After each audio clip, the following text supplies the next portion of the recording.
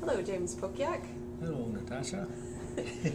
Um, you were just telling me about spending so much time on the Anderson River. Why don't you uh, tell me about when you were first out there?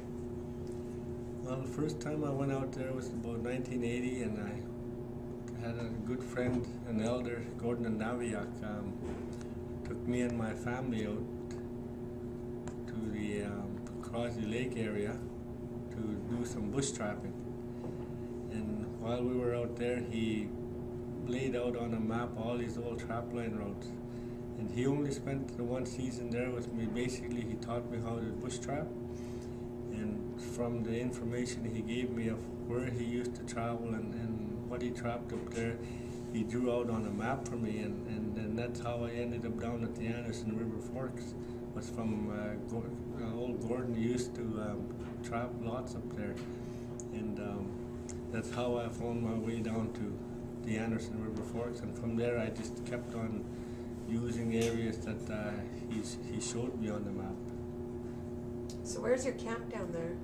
The camp is right at the Anderson Forks, right where the Carnwath, the Iroquois, Wolverine River, they all flow into the Anderson, which flows out to the um, Wood Bay area. hmm How did you choose that campsite?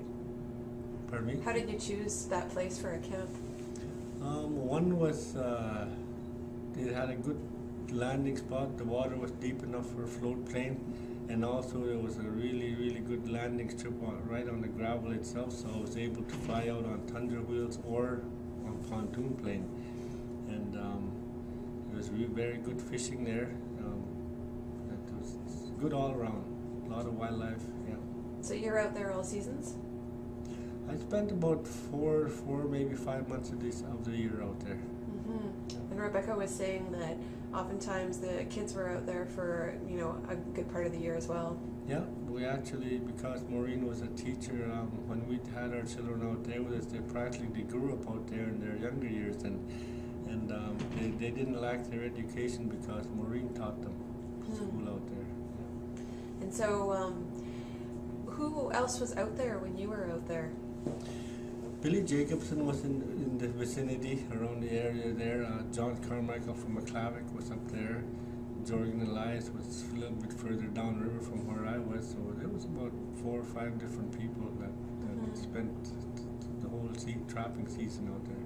hmm So, mostly were you trapping marten? Mostly Marten, yeah. hmm And is that because that's the uh, pays the best? Well, marten trapping is really so much um, not easier, but there's more abundance of marten than, and there was a lot of other animals like foxes, colored foxes, wolves, wolverine, and whatnot. But uh, marten, when you trap a marten, is so much easier to work with the fur. Very little fleshing is needed, so um, and uh, they were they were easy to to work with. Hmm And so, when you were out there, you were basically feeding your family off the land as well? That's well. right, yeah, we lived off the land. We just brought our basics with us like coffee, tea, flour, sugar, and stuff like that. Um, but uh, everything else came from the land fish, moose, caribou, ptarmigan. Later, you uh, you left the area, and why was that? Well, it just got too expensive to fly out there. I had, like, when you go into the bush to, to start the trapping season, you usually go before freeze up, and that requires uh, taking an aircraft out there. And the price of a plane charter just rose so drastically that it was because I didn't have the funds to, to charter a plane anymore, it was just too costly. I still go out there once in a while, when, you know, but I don't spend the amount of time I used to. Uh, what can you tell us about Fort Anderson? Fort Anderson, I, I just started uh, hearing a little bit more about the area. I've never actually seen it itself, but uh, to my knowledge, it's a little bit, probably about 30, maybe 40 miles north of where I have my cabin. hmm And uh, why don't you tell us a little bit about your experience? What was it like for you to handle the MacFarlane collection in Washington? Oh, it was it was quite uh, quite amazing for me.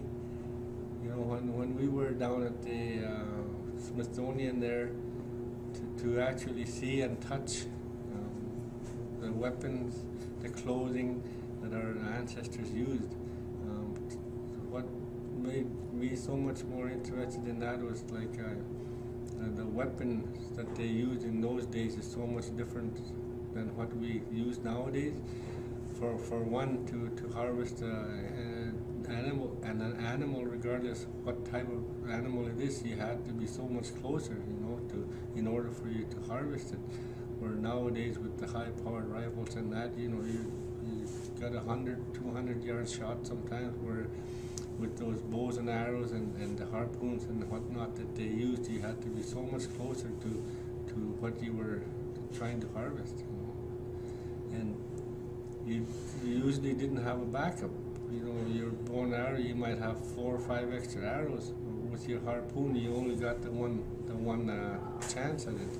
So if you missed that initial um, chance at, at what you were trying to harvest, you know, you basically weren't able to, to get it. So their skill was amazing. That's right, yeah. hmm What do you think about the website project? I think that's going to be a real awesome project, and I'm really glad to see the, the youth involved uh, with the elders and and um, the, the project itself. Uh, I think a lot, all of us are really looking forward to the finalization of it to, to um, expand our culture and, and, and, and, our resources and the, the things that our ancestors used to do years ago. Thanks, James.